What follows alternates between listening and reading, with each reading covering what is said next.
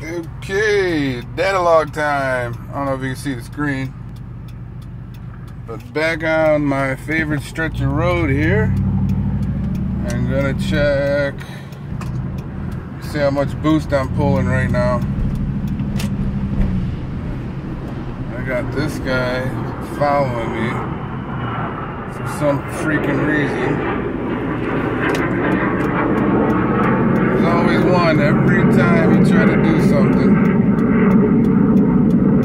One of these clowns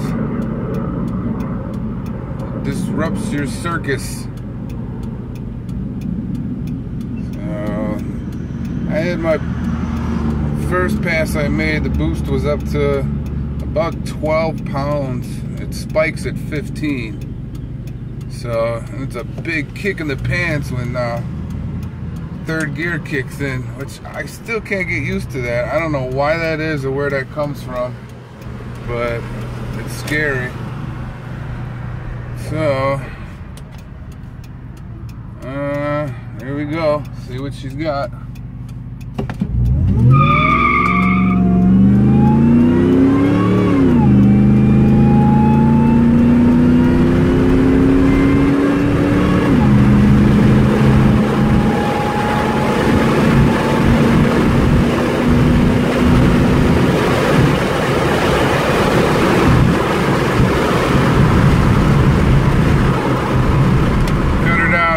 Morons everywhere today.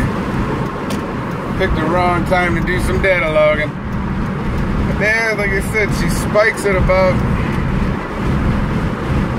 spiking at about 15, 16 pounds. When it settles in, it's somewhere around, I'm gonna say 12, maybe 13. It's hard to keep an eye on that gauge and watch for idiots even though I'm driving with my hazards on, they still get really close. So, uh, data logging in public is dangerous, everyone. Alright, well, I'm going to cut it short right there. Maybe kick the donkey in the ass one more time over here at this next stoplight. See how far of a burnout I can get on an uphill. I mean, it, she'll roll them out for a while. Flat ground, I'm sure it's going to be a lot more. So, all right, guys. Still testing and tuning on this uh, Roush F-150. Uh, baby pulley on it, data log, SCT stuff. Really, that's about it right now. I'm not going to play with the intake yet or the exhaust. I think I could pull some pretty good horsepower because that stuff already flows pretty good. Uh, the intake that's on there is a, is a Roush box.